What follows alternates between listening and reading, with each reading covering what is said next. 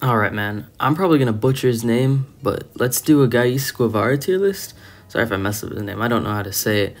Um, yeah, I tried to get as much of his music as I can. Tried to put it into this tier list. Got his EPs, got his mixtapes that are on streaming, some that I found on YouTube. I found one on SoundCloud. He has a beat tape on on his website. Also, sorry because it's windy over here trying to record. Yeah, so if you hear any background noise, I'm sorry. That's kind of out of my control. Yeah, let's just get into it.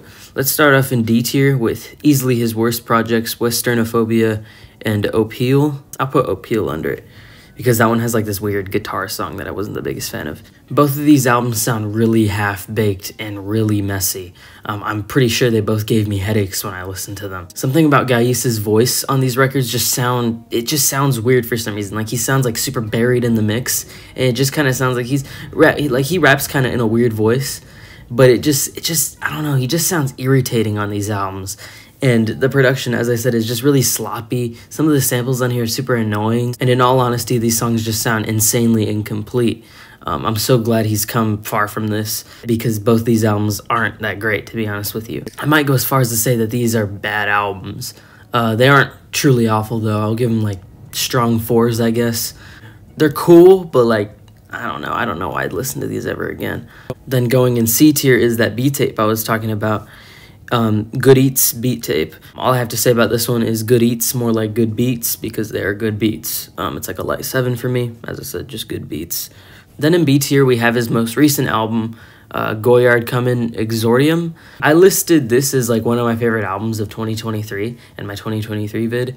And to be honest with you, like at first I was like, oh, I really like this. Then I re-listened to it. I was like, oh, I love this album, man. Then I re-listened to it and it grew off me.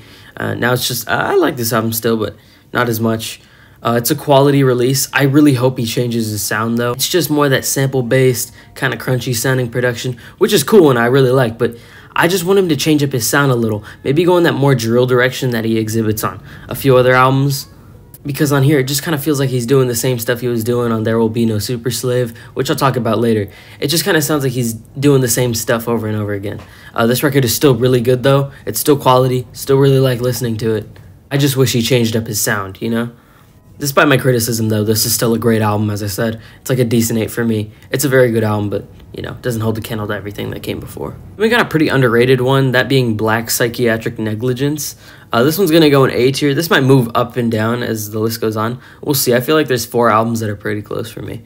But um, this record here, though, is easily one of his best. I think that it's super consistent. I think the sampling on here is super good. I, th I think he's at one of his peaks in terms of rapping. He's just going off on these really raw, really sample heavy beats, and I really enjoy it, man. It's super fun.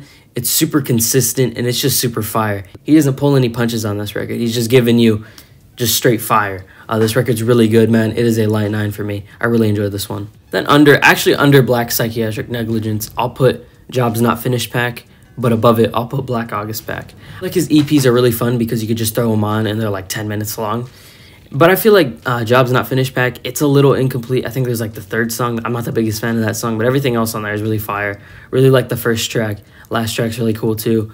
I listen to that one quite often. And the Black August Pack, here's my thing with it. I used to have this in like B tier.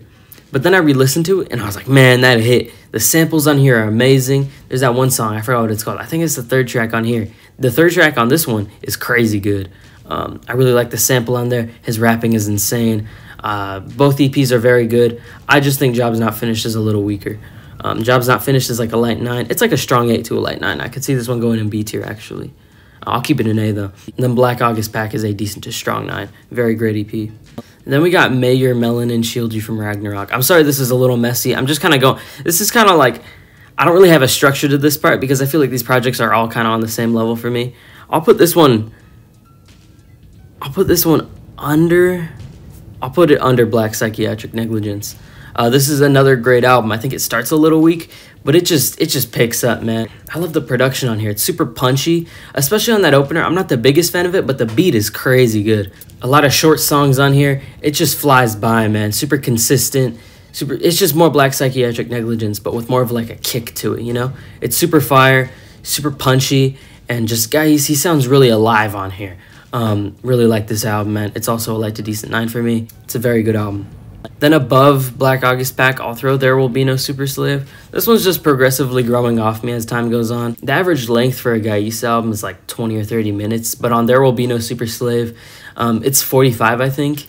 And he plays with the time quite well. I don't think there's any filler on here. I just think that there's some really big highlights, but the rest doesn't really hold a candle to set highlights. Um, it's super consistent though. I think that if you just cut this down to like 30 minutes, this would probably be an S tier. It might be his best album because the highlights on here are amazing, dude. Uh, super fiery production. He really goes in that drill sound on the best songs on here with these really just like, just these really punchy, not even punchy, just really like booming drums. I really love those beats, man. Um, his rapping is fire. He does do some more low key cuts on here, though. I'm pretty sure there's like a more introspective cut on here near the back end. Uh, that song's really good. I like the interludes on here. It's really cool how he plays with the time on here. I don't think he overstays his welcome at all. I just think if you cut this down, um, it would be probably his best because all the highlights would kind of be put at the forefront. Um, it's, it's still a great album, though, man. Really good album. It's like a light to decent 9 for me. Really like this one. Then in S tier, it is his breakout mixtape, Black Bolshevik. Uh, this thing's freaking amazing, man. 25 minutes and it just flies by. Every song on here hits. Every song has a fantastic sample, has fantastic rapping. It's, it's just so good, man. If you have not heard the third song on this album, um, just just listen to that song right now. F the Nordic Model, bro. Listen to that right now. If you have not heard that song, listen to it right now. That's an amazing song. You also got that one track on here with like that scream sample on it. It goes like like that. That sample's amazing. Got the second track on here, one meal a day type beat. It took a while for that song to click with me, but then it did, and I was like, bro, he just he he goes off on that beat, man. Uh, it's super consistent. The samples on here are fantastic, and it just feels like so of the moment. Like he was just like whatever, man. Like you look at his Bandcamp, he's like things haven't been doing great lately. Here's this or whatever, or he just says something like that, and that's how it feels. That's how this album sounds. It's super just like of the moment, just whatever. I don't care. I'm gonna put this out, and it's fire, man. This album's amazing. I'm feeling a decent to strong nine on this one. It's a fantastic record. I just think it's kind of been growing off me as time goes on. And there's my Ghais Guevara tier list. As I said, I'm sorry if I butchered his name, and I'm sorry if you heard wind noises in the back. I'll try to link some of the projects that aren't on streaming in like a pinned comment. I'll probably get all the ones I can find put it there because I feel like people should be listening to this stuff, especially Black Psychiatric Negligence. That's a freaking great album, man, and I hope people listen to that. Like, if you take anything away from this video, if you've heard his stuff on streaming, go listen to that project because that project's freaking fire. So, yeah, just share your rankings in the comments as always, man. Glad you made it this far in the video, and I hope to see you in the next one. Bye.